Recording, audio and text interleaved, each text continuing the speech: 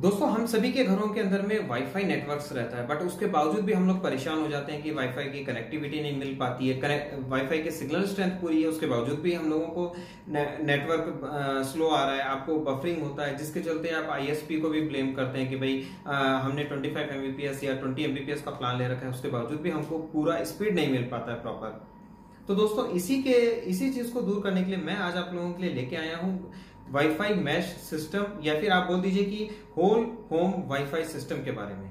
नमस्कार दोस्तों, मेरा नाम है पल्लव और मैं आपका स्वागत करता हूँ अपने इस चैनल द गैजेट वर्ल्ड के अंदर। दोस्तों, आज जैसा मैंने आप लोगों को बताया कि आप लोगों को कनेक्टिविटी इशू फेस करना पड़ता है क्योंकि आपको वाईफाई की स्ट्रेंथ फुल है बट आपको कम्युनिकेशन के लिए आपको प्रॉपर आपको स्ट्रेंथ नहीं मिल पाती है। तो दोस्तों, ऐसा क्यों होता है? तो वाईफाई राउटर है, वो आपका हॉल के अंदर में है। अब आप क्या करेंगे दोस्तों कि उस वाईफाई आपने ऑन किया तो उसके बाद में आप तीन या चार जितना भी आपके नंबर ऑफ़ डिवाइसेस आपने कनेक्ट कर लिए। आपका स्पीड मान लेते हैं ट्वेंटी फाइव एमबीपीएस है। आप अगर किचन में हैं और आप यूट्यूब पे कुछ देखते हुए आप रेसिपी बना रहे हैं या कुछ भी बना रहे हैं बट वो बफरिंग कर रहा है। वहीं अगर आप यदि कमरे के अंदर हैं, आपको फुल नेटवर्क मिल रहा है। आपको वाईफाई में आपको प्रॉब्लम नहीं हो रहा। है सेम आपका दूसरे जगह पे आपका अगर आपका सेकंड रूम है बट उधर में आपको कनेक्टिविटी इशू हो रहा है। क्या होता है दोस्तों, जब आपका वाईफाई जब एक सिग्नल स्प्रेड करता है in the form of radio waves वो आपका 2.4 गीगाहर्ट्ज उसका फ्रिक्वेंसी होता है। बट आजकल बहुत से राउटर आ रहे हैं जो आपको 5 गीगाहर्ट्ज तक आपको सिग्नल की स्ट्रेंथ प्रोवाइड करते हैं बट वो बहुत ही कॉस्टलियर होते हैं। लेकिन जब आपका सिग्नल रेडियो वेव्स के फॉर्म में जब वो आउट होता है, उसके बाद में उसको क्रॉस करना पड़ता है कि जैसे मान लीजिए आप एक रूम के अंदर है तो आपको उसको उसको उस उस वाल को या उस दीवार को या कह दीजिए गेट को या विंडो को क्रॉस करके उसको अंदर आना पड़ता है, जिसके चलते आपका नेट जो है वो बफरिंग करता है। वहीं अगर आप गेट ओपन कर देंगे तो आपको जो पहले मान लीजिए मान लेते हैं आपको दो एमबीपीएस आ रहा था तो उससे आपने अगर गेट खोला तो उससे आपका कुछ कुछ हद तक आपका स्पीड बढ़ गया। बट आप एक्चुअल में वो मज़ा नहीं ले पाते हैं, जो मज़ा आपको 25 फाइव या 20 एमबीपीएस में आता है। तो दोस्तों, जो ये मैश वाईफाई आज की जो टेक्नोलॉजी इतनी एडवांस हो गई है, जिसने जो अब डिस्कवर होता जा रहा है धीरे धीरे आपका मैश वाईफाई बोल दीजिए या होम वाईफाई ये क्या करता है? ये डायरेक्टली आपका कनेक्ट होता है मॉडर्म के साथ में and a series of satellite modules और द नोड्स यानी कि एक आपका राउटर रहेगा आपका मॉडर्म रहेगा उसमें उस जैसा कि मैं आपको दिखा देता हूँ कि ये एक मेरे पास में मान लीजिए ये एक मेरा मॉडर्म है ठीक है? अभी इसके अंदर में मैंने इसके अंदर में आपका सर्विस प्रोवाइडर ने आप, अपना केबल दे दिया।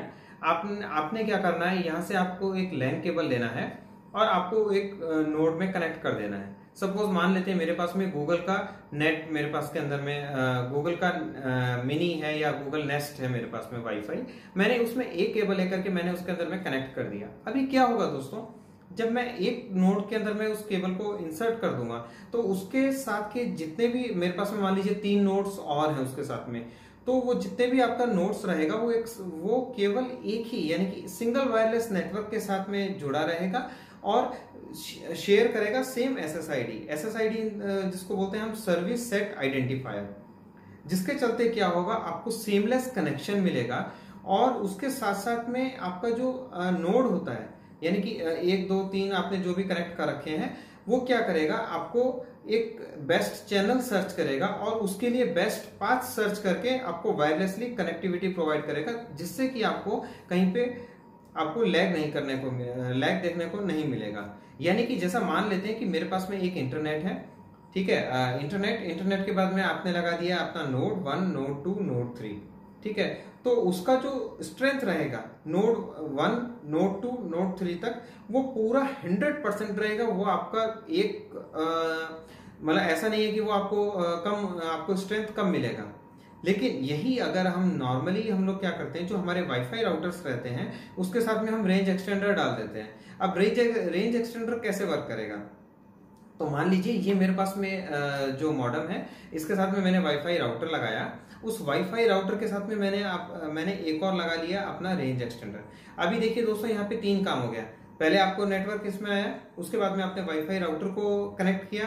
और उसके बाद में आपने रेंज एक्सटेंडर को कनेक्ट किया यानी कि आपने तीन वर्क यहाँ पे किए। लेकिन यही अगर आपके पास में मैश वाईफाई या फिर आपके पास में गूगल होम या कोई भी होम वाईफाई सिस्टम अगर आपके पास होगा तो डायरेक्टली आपको एक ही डिवाइस कनेक्ट करना पड़ेगा यानी कि मॉडर्न से आपको डायरेक्टली एक, एक ही नोड में देना पड़ेगा। बाकी जो दोनों तीनों चारों जो भी नोड्स आपके रहते हैं वो इसी इसी से आपको सारी कनेक्टिविटी ले लेते हैं। जिसके चलते आपको बहुत ही स्मूथ आपको नेटवर्क की कनेक्टिविटी मिल जाती है स्पीड आपको प्रॉपर मिल जाती है।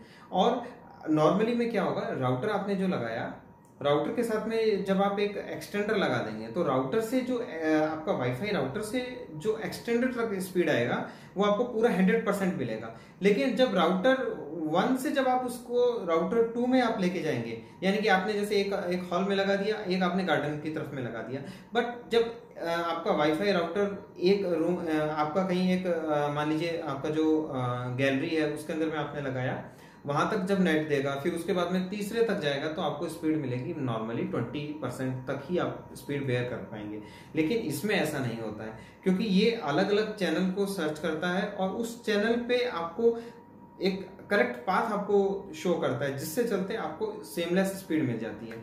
या एक आ, मैं आपको बोलना चाहूँ तो एक एक तरह से ये एक सुरक्षा कवच जैसे होता है एक तरह से पूरा ब्लैंकेट कर देता है आपका पूरे पूरे घर को जिससे कि आप किसी भी घर के किसी भी कोने में बैठे होते हैं वहाँ से आप नेट फुल स्पीड के साथ आप एक्सेस कर सकते हैं। और दोस्तों ये अलग अलग अलग अलग सीरीज़ अलग अलग आपको रेंज के अकॉर्डिंग मिलता है। जस्ट एक नॉर्मल अगर मैं आपको एग्जांपल दूँ तो जैसे डी लिंक का एक आता है, या आप मान लीजिए गूगल का वाईफाई करके आता है सेवन थाउज़ेंड नाइन हंड्रेड के अप्रॉक्स आएगा, मैं डिस्क्रिप्शन में लिंक दे दूँगा, आप चाहिए तो वहाँ जाके देख सकते हैं। अभी उसमें जैसे मान लीजिए गूगल में क्या होगा कि आपको तीन मिल तीन नोट्स मिलते हैं ठीक है? एक नोट का जो एरिया होता है वो होता है फिफ्टीन हंड्रेड स्क्वायर फीट तो आपने ती, आपको तीन मिलेंगे तो आपका हो गया four thousand five hundred square feet तो four thousand square five hundred square feet में वो आपको पूरा का पूरा कवरेज देगा. यानी कि आपको सेमलेस कनेक्टिविटी मिलेगी आपको कहीं लैग होने लैग देखने को नहीं मिलेगा.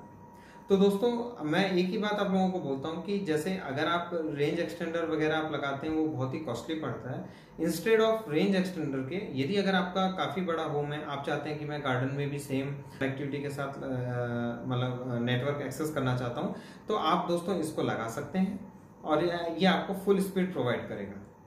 दोस्तों, आशा करता हूँ कि जो मैंने आप लोगों को इस होम वाईफाई या मैश वाईफाई के बारे में बताया, आपको समझ आया होगा। अगर आप लोगों को कुछ इसमें सवाल है, कुछ सुझाव है तो प्लीज़ कमेंट करके बताइए। और अगर आपको ये वीडियो अच्छा लगा तो इसे लाइक कीजिए सब्सक्राइब कीजिए, और मिलते हैं अगली वीडियो के अंदर।